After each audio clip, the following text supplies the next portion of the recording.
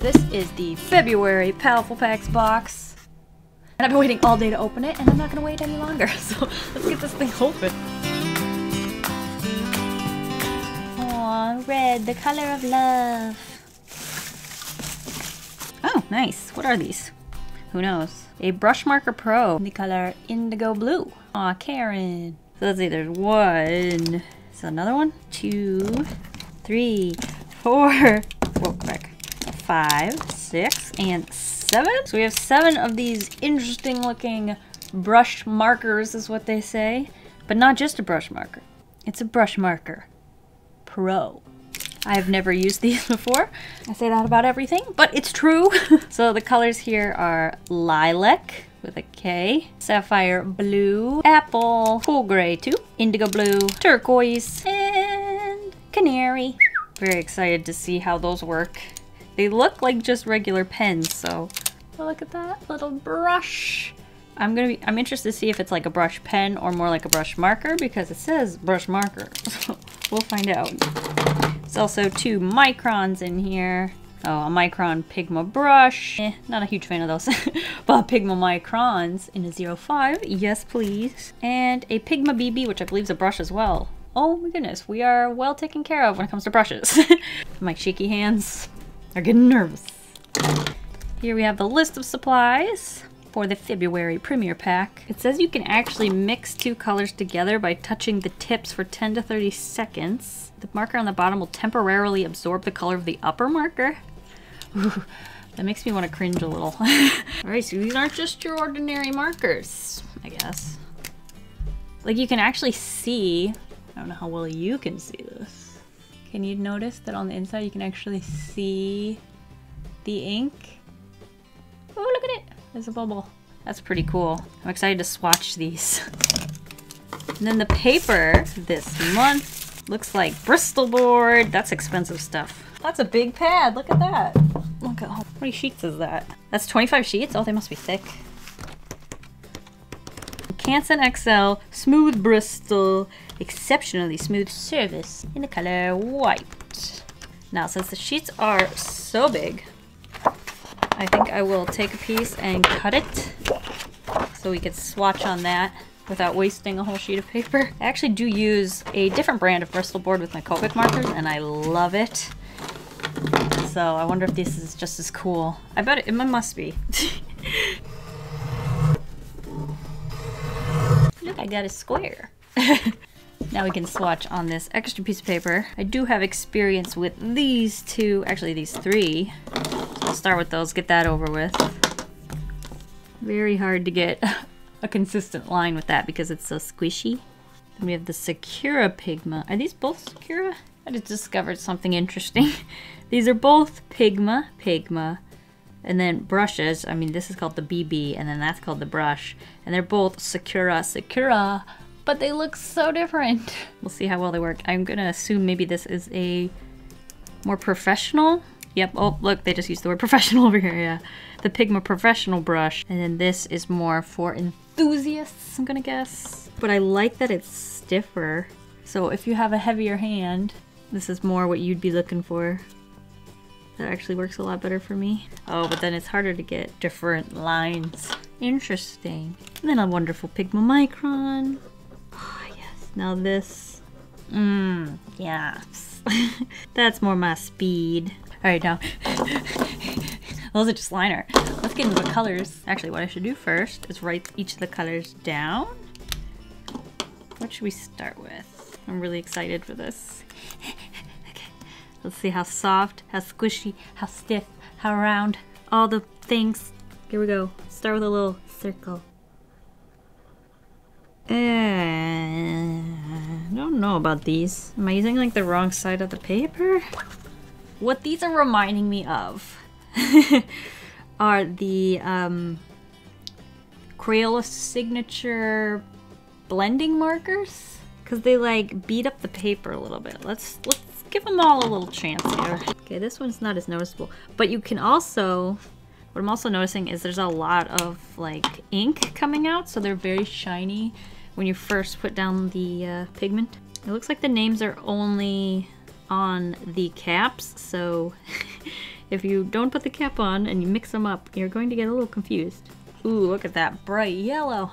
Alright, so I'm not really having the same experience I had with that gray, so what I'm going to do is take one of these colors that did really well, like the apple or the canary. I'm just going to keep going over the same spot and see what happens. Is that a hair? Ah! Problems. Okay, do you see how the paper is beating up and creating this like super dark pigmenty barf bits? yeah, that's something very similar. Actually, why don't I- I still have those.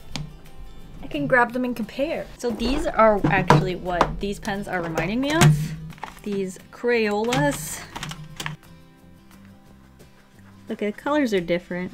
And these have a smell to them. I forgot about that. So it does look like they're working differently. Let me grab like a green. Maybe they're not the same kind of markers. Now that I'm seeing them next to each other, not feeling the same way. No, see, these work a little bit more like an alcohol marker, so I'm to guess that these are alcohol-based, whereas these are like a paint... What did it say? Maybe I should read more about it. Oh, I'm also noticing the Brush Marker Pros do not bleed through the page, which is schmancy. So they're definitely completely different than these. I could put these away. I do have a whole video on these where I draw something out of that thumbnail, if that interests you. but I'm in the middle of something. From what I'm reading here, these are actually filled with a type of paint that mimics inks. So I'm guessing that's why I'm getting that, like, uh, problem. Ooh, they're still smudgy. Although those are more of an art supply I'm more comfortable with because I've used markers a lot more than I've ever used whatever these things are. I don't even really know. So there's some kind of like liquidy paint put inside a pen and so you can use them for calligraphy, graphic design, and illustration, it says. Although I'm seeing a lot of similarity in um, tone here, so using them for illustration maybe be a little scary. But I do want to try what it says right here, which is you can apparently mix the colors. So we should try to do, here, if I put like green here, and I put yellow here, should try to do is create a gradient between those two. So what it wants you to do is take a top marker and a bottom marker and touch them together. Oh, I don't like it. Having a really hard time keeping them together. For 10 to 30 seconds, the marker at the bottom will temporarily absorb the color of the upper marker. This will allow you to create a smooth transition from one color to another. Look at that! Still looks green on the end though, but it seems to have gotten its color back. Let me see. It's still a little bit green. I don't know how long it's supposed to take. It takes a while. so what happens if you like layer them on top of each other? Can you blend that out? I mean, that's a pretty good gradient, but I'm not fond of the texture of these markers. Paint things. like bits of the paper sort of like peel up. The other thing I'm noticing about these markers is they stay wet for a long time, more like paint than like a actual marker. So if you like touch it, you can smudge it around a bit and it gets all over the place and it gets on your desk. so you gotta make sure it's completely dry before you touch anything to it or yourself. so these are definitely more on the side of paint versus like inks. But I think we definitely need to try and take advantage of these gradients because that seems to be their kind of like selling quality. so I think I want to take advantage of those since that's what we're going to be working with today. So here on our main sheet of paper, now here on our main sheet of papers, we're going to be creating our illustration, but I still need to work out the idea. So I need to do a little bit of sketching here. I'm going to grab just a regular pencil and I'm gonna start thumbnailing some ideas over here. Since the only thing I have going for me right now is gradients. Kinda in the dark for what I wanna draw, so it's going to be pretty difficult to come up with something from nothing. So I'm just gonna start drawing things I like to draw and hopefully get inspired to draw something more original. An idea I kinda just thought of would include an orange, but I don't have any reds to blend with this yellow. Do, do, do, do, do, do, do, do. It lost that yellow real quick. Probably should be doing it this way. Creating a new marker. There we go. Let's see what happens. Oh yeah, see how much better that works? Which I guess I should have expected. They seem to be a little bit like a chameleon pen. I've never actually used a chameleon pen, so I could be wrong, but this seems to be the way I feel like people have said they work. you kind of like connect them together and then they draw one color for a little while and then they become the other color. Just gonna keep playing with this and see if I can uh, spark some ideas. Ooh, I like that color. Mixing the apple with the turquoise. But a part of me just wants to like blend it the way you would blend Copics, but you can't do that. It doesn't really work. I think it would, but it's not quite the same thing. You know what? When in doubt, just draw a floaty girl, right? Let's try and fill this square page with just random girl floating, you know? And then I'll try to incorporate like as many gradients as possible. Gradients are kind of my uh, goal here. Try to incorporate as many of them as possible.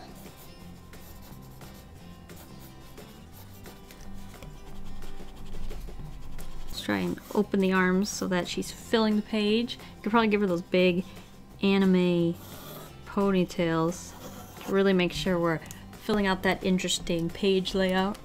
Mouth. Oh, so happy!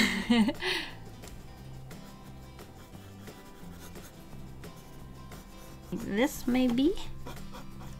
Looks like a penguin. kind of want to change up this leg. Maybe pull it in. Maybe more like the knees here. Then the leg comes out this way. Is that cuter? I guess I should rephrase that. Does that look better in this scenario? oh, what if she's doing like a cutesy, like, her hands are like this. But then her face would need to be different. Because I don't think she's excited enough to be like, mm arm the way we had it before, but I'm gonna pull this arm up a bit. More like this. It just adds a little bit more interest so it's not like as symmetrical as it was before. And then hopefully we can use like that gradient effect for the hair is my plan. since the hair is so long. It might be difficult, but since it takes so long for the ink to kind of switch over, I'm hoping I can take advantage of that for this long section of hair I feel like there's a lot of space right here in particular. We could add like a little critter, like a little jelly bean animal that like hangs out with her with cute round ears. Maybe not. What if it's like reaching up like, yes! And this one's like down, oh it looks like a dab, doesn't it? Okay, maybe the little jelly bean is dabbing. I don't know what I'm trying. It's like a mouse or something. but maybe it's got a bunny tail. it's like a Raichu and Mickey Mouse mixed together. How's that? But now I want her to look at her little buddy. So I'm gonna turn her eyes this way. Do this other ponytail. Hmm think I need to think of the hair more as a ribbon. I think that would help get this right because that one, how it twists and turns, this one was just really flat. So I'm going to work on this ponytail. I'm going to think about it as like a ribbon. Would be more like that. So then hair strands would interact with it that way. So there's a bit of a tangent happening here, like and a tangent is when, when two points kind of meet without perfectly intersecting. And so basically this arm is kind of following this exact strand of the hair, and I don't like that. And in turn, that hair is in that location because of the way the rest is, so I feel like I should just change the whole thing again. It's just not quite appealing. What if I go like way out here? So then we avoid that arm altogether. Ooh, I like that. I think that's better. Yes, I think I like that. Okay. so now she just needs some clothes. It's currently below freezing outside. For some reason I want to draw something super summery. I'm gonna draw another one of those little bunny mouse things back here. now that I think I know how to draw them. They're kind of like bear rabbits too. okay, why don't we try and split the difference between summer and winter and make kind of like a fall outfit, maybe like a turtleneck? with like one of those slip dresses over top of it. That's kind of fashionable, isn't it? And then some shoes down here. Alright, so that's the sketch for now. I feel like I'm, if I work anymore, it'll be that overworked sort of stage, so I'm kind of feeling that happening. So I'm going to go in with the Pigma 5 and start adding in some lines here permanently. First, I'm going to go over everything and lightly erase it. I have a better idea of what I've already added line art to and what I haven't because sometimes when the pencil's there, I have a hard time seeing where I've put the lines. And I just find that this is more helpful for me. It's so cute. I need to give these things names besides Bunny Mouse. That's not actually that bad, but I just feel like they deserve something better. There's one ponytail down. one more to go. Gonna erase some of this pencil that we don't need anymore. See how everything's doing. Careful not to crunch any of the corners of the paper. And I don't want any comments about this section. It never happened. We doing? Another bear bunny. Here we go, here we go. This is becoming my favorite part. They're so easy to draw funny because they were really difficult to draw when I was trying to figure them out. But now I love them. Now I love them. There he is. So cute. I never have much to say when I'm doing line art. Just focusing on trying not to mess up. And yet, I still do. there we go. I think that's all of it. Now I just have to finish erasing all of the sketch. Goodbye, goodbye, goodbye. Get out of here. We don't need you anymore. Alright, now it's time to color using these uh, fancy brush marker thingies. Okay, the first thing that I want to do is color the turtleneck yellow and the dress lilac with a K. So, let's color this canary. Gotta remember that these are paint and not markers, so I don't want to touch where I've already placed the ink because it'll smudge. I really wish I had a red here to mix with this to create like an orange. I think that'd be really helpful for my ideas, but I don't have that color. I could just use the purple maybe. So let's uh, tap that a bit. Tap, tap, tap, tap, tap. And create that brown color. Like that. Then we can go in straight with the purple and color in this dress. This is kind of like counting as our black tone. Getting a decently even tone. And if you don't, you can actually go over it and blend those spaces together. As long as it hasn't dried yet. Kind of like watercolor. Looks like it's drawing a different color than it's going down. Because there it's darker than down here. And I kind of wanted to color these socks that same color. Alright, now I'm starting to see the streaks as it dries. Maybe if I zoom in you can see that. See the color difference between like where I've gone over more than once and where I haven't? I'm trying to figure out what like the benefit of these markers over like a different kind of marker would be. Because as for right now, I haven't figured that one out. I feel like that's gonna end up looking very rainbow barfy. I'm a little nervous. I'm gonna choose indigo blue go over the purple and see if we can get rid of some of those shakes. Now for the hair, I think it'd be cool to be like yellow, apple, turquoise. Should we start at the bottom or the top? Let's start at the top because I just want to use the turquoise.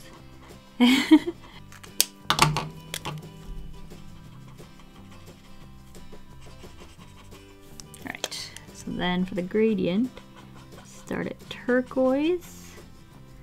Then we grab the apple. We like do one of these just to blend this out until we get straight green again. Maybe even pull a streak or two down make it look sort of, oh no, because it like bleeds outwards, doesn't it? Right, might be time start turning into the yellow. So we'll grab the yellow, do one of these. Do, do, do, do, do, do, do. I don't like tinting them together like this. Makes me uncomfortable. Oh, it didn't last quite as long as I expected. Let's just blend that out to the yellow. Yellow, yellow, yellow. I'm really not all that impressed, to be honest, with these guys. At least not for like illustration. These are probably really cool for calligraphy, which is not something that I dabble in too often. If you overwork it too much, the paper starts beating up. Oh no, I just noticed what I did. I put my wrist into the purple and it bled it all around. it's gonna be one of those days. but I still want to do this other uh, hair because this was it was kind of fun even though it doesn't look that great. So basically I'm just kind of using them the way I would use Copic markers. And they actually seem to be working a little better than that like dab technique. Okay, for shading, actually take some green and then take the yellow and blend out the edges. And then for up there, I'll take the turquoise right here, and then take apple and blend that out. As long as you get it when they're still wet, they blend pretty well. I did better on that one. I think I've determined that these are better if you just blend them while they're still wet than doing that weird like technique where you're like like that. I think I want to use yellow for these bows up here Let's give little mouse bunny here a turquoise bow. And maybe both these two guys there. I'm really disappointed about the ink smudging. But there's not really anything I can do about that. I also wish we had some lighter colors. I have, where did that go? This guy, this gray. What does that look like? Can use that to shade. Let's see what happens since you have that brush point, you can get those like fine points, and that actually looks really cool for adding this little bit of shading here. You can get like fine points and fill in tiny spaces. There we go, there's my little mess. my beautiful mess. All in all, I'm really not awfully fond of this art supply. I'm not sure if it's the colors that I got or if it's the actual art supply, but like I would rather use like an alcohol-based marker, like any alcohol-based marker, even my least favorite alcohol-based marker, over these pens, just because I'm not sure I'm using them the way they're meant to be used. Like for illustration purposes is what I'm talking about. Now, if I was going to be using these for calligraphy, I do like the stiffness of the brush and like the different size points you can get. Um, but when it comes to illustration, like all the colors that I got at least, they're all like the same tone except for maybe apple and canary are a little bit lighter and then canary is the lightest. But like lilac, sapphire blue, and indigo blue are like almost the exact same tone. And even turquoise is very, very close, so it's hard to use these in an illustration without ending up with like one really dark blob. Um, I tried my best, but I forgot how much they smudged and I didn't let each layer dry, so they ended up smudging. The thing that I would compare these most to would be like India ink in a pen. That's not what they say they are, but that kind of is what this is making me think of. It's a little messy. so yeah, not my favorite art supply, but I had fun using them and I do enjoy the blending. Um, Microns, they're always good. I didn't actually use the brush pens, did I? I could darken up some areas here. But I think I did a good job darkening the areas with the actual color, so this is kind of pointless at this point. you want to get a close-up of uh, all the fingerprints and smudges. There they are. I think the best thing to come out of this box were these little bunny mice. I might end up drawing these guys again. They're cute. Oh, and then of course I forgot how awesome this is. The Bristol board. Remember when I showed you the um, Crayola signature markers on here? Look how well that pigment holds in this paper. This is great paper for that. It's really expensive, so it's cool to have such a big pad of it in the Palette packs. I'd be really interested to see what someone else's idea would be if they used these exact same art supplies because color is something I have a lot of trouble with and the fact that these colors were also similar, I was really nervous. So I kind of think I'm gonna go stalk the social medias and figure out what other people did with this with their Palette packs. I will be passing these art supplies on to one of you, so check the link in the description, see if the giveaway is still active. I want to thank you guys all for watching, and I hope you enjoyed uh, watching my process of using a brand new art supply. Wait for the layers to dry was the lesson. So yeah, thank you guys for watching. I'll see you guys all next week, and I hope you have a delicious evening full of waffles. Bye!